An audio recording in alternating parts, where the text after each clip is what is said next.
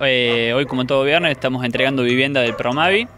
Eh, estamos haciendo la entrega de la casa Promavi 2, casa 73 y 74. Justamente son consecutivas y están justamente una enfrente de la otra. Nos encontramos situados en el sector detrás de la cancha Belgrano, en un pasaje público entre Sendoya y pasaje Mena. Eh, y bueno, eh, justamente los propietarios son Croce y Ponce, eh, correlativamente. Y, bueno, justamente esta semana, como teníamos más o menos pactados dos entregas, y para la semana que viene ya estamos preparando unas tres casas. No sé si vamos a entregar las tres, si vamos a llegar con todos los detalles, pero bueno, seguramente la semana que viene también vamos a estar haciendo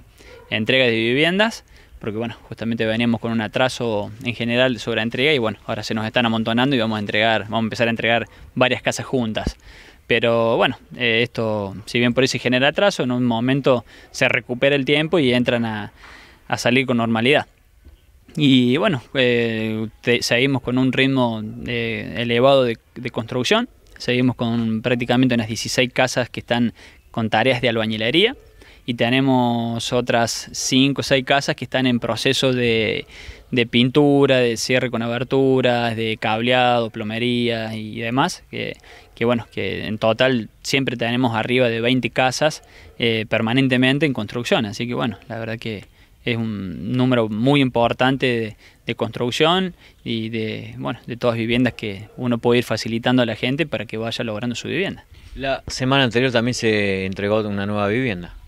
Eh, sí, la semana pasada también estuvimos entregando una vivienda, pasa que también no, la pudimos, eh, le hicimos fuera de horario, porque fue después de las 12, por lo cual no lo pudimos, eh, no pudieron participar, pero sí, estuvimos haciendo una entrega, la verdad que no recuerdo cuál es la vivienda que entregamos, pero sí, también hubo una entrega y bueno, ya venimos haciendo, como te digo, estamos haciendo, vamos a estar haciendo entrega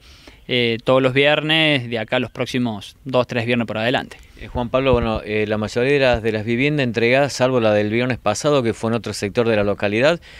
son prácticamente todas en este lugar, más o menos en esta zona. Sí, puntualmente, obviamente que este sector donde está detrás, detrás de la cancha del Belgrano, eh, es un loteo que se hizo por medio del municipio en su momento y eh, fue apuntado en primera instancia para los adherentes del programa B para que pudieran hacer su vivienda. Entonces, por eso que hay una gran concentración en este sector y el otro 30-40% está diseminado en el pueblo, pero la gran concentración se encuentra acá atrás de la cancha de Belgrano.